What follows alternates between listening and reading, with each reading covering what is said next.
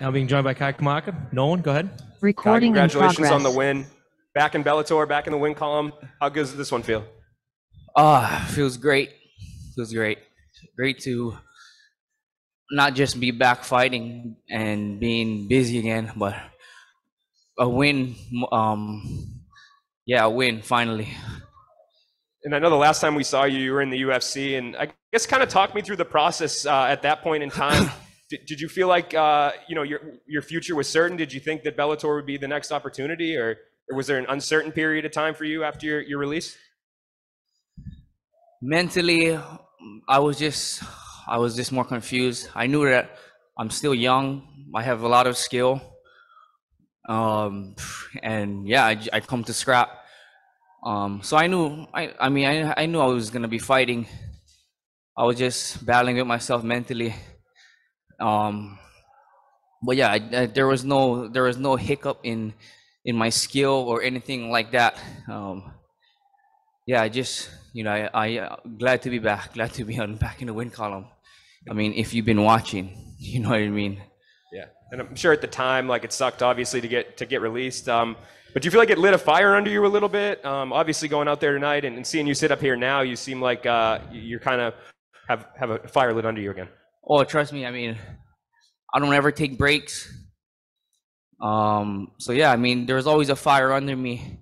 I was more just confused on what the hell I was doing wrong, you know, and um, I made a move to Las Vegas. There's some, you know, the man behind you. Um, I wasn't training with him anymore. Who, who gives me a lot of my, my, um, my confidence. You know, if he believe, if I know that guy believes in me, I know I'm, I can face anybody. Um, so I mean, yeah, I mean, I, I'm there. There was a fire because, because, I mean, I left. I left my home gym. I moved to Vegas. So there were some changes that I made, and then I didn't win since I moved. Um, you know, I took a fight on seven days' notice. You know, that's a chance I'll, I'm going to take every time. And then I lost two weird fights, which I didn't think I lost. There's all I had all new cornermen in there. I had everything was new, so I just training training style was a little bit different. You know, so I was questioning myself a lot because I thought I was winning these fights, but I also made a lot of changes in my camp which was you know which on but uh, you know I kind of just got back to myself um just just start just you know listen to the the regimen that my cousin gave me trying to mimic what I had back home as much as I could and yeah he was here tonight my other cousin here tonight and my head coach Eric Nicksick was here which I was glad to have them back Sure. And was that the kind of battle you were expecting? A kind of a back and forth brawl with John?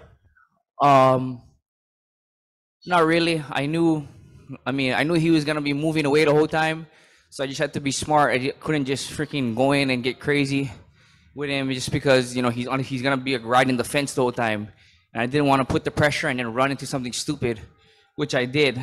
Um, so I just had to re- result be smart between the round. They told me to take him down, and I'm a wrestler. I'm an NAIA college wrestler, so I don't know if you guys know but that's what wrestling is my base, and yeah, I'm glad to be back in Bellator. Glad to be back to my wrestling.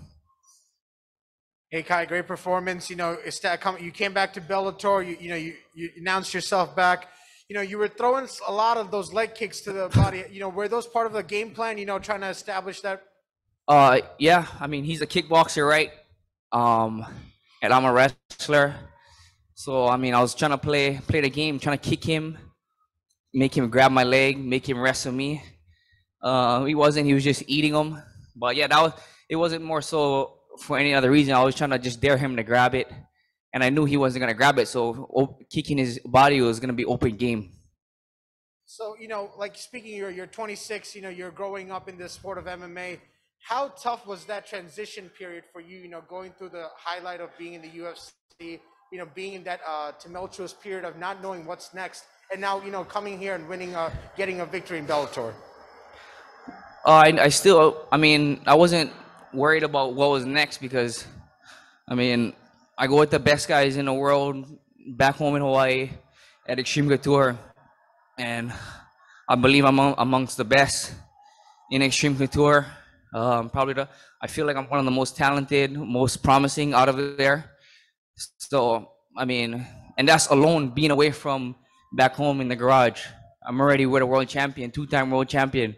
So being in a different set of eyes, I, I knew I was one of the best. I wasn't. We weren't a full of ourselves. Um, so I, I just was waiting for the call, and the day I got released, I had meetings with two big promotions already, and Scott Coker told me right away. Pretty sure it was the day that everybody seen that I was released. He he called me. I was poolside in Florida um, at PFL, and he said that I, I I had a job.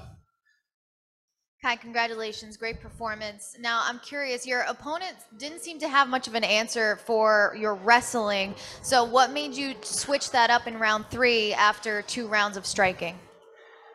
Um, I think I felt him like I grabbed him at the end of the second round, and I just, I just, I just knew that I, I mean, the wrestling, I just had a big advantage. I just, I didn't, even, I don't think if I really got him down, but I knew that I, I could. I mean, a wrestler once you get a good grab, um, you just, you know, um, and if he's, if he's watched some tape recently, he's probably seen no wrestling of me and you know I- I'm a college wrestler, so I mean I always have that in my back pocket. This win seems a little emotional for you, and you keep talking about getting back to your best and you're feeling your best. What can Bellator fans expect when Kai is at his best? I think I'm good anywhere. I'm good on the feet. I'm fast. I'm athletic. I can wrestle. I can box. I can kickbox, and I don't think I'm anywhere near my peak. Thank you.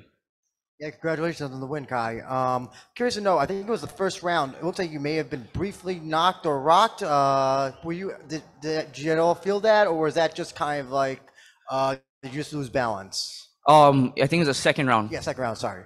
I think, I mean, he caught me for sure. He, I was, my, my feet felt a little bit jello, but I, I was right there. Um, I just had to get my feet back on me, and I got back on me pretty quick. Uh, just a couple for the Zoom here. Uh, Chris, go ahead. Chris Connor. Pride, go ahead. Hey, Pride ASAP, uh, ASAP Sports. First and foremost, congratulations on the win.